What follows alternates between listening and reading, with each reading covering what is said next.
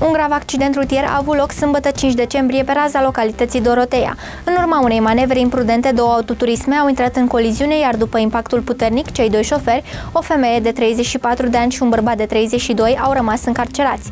Accidentul s-a produs în momentul în care bărbatul a intrat în depășire pe un drum umed și alunecos, moment în care a pierdut controlul asupra direcției de mers și a ajuns pe contrasens, izbindu-se puternic în autoturismul condus de femeia de 34 de ani.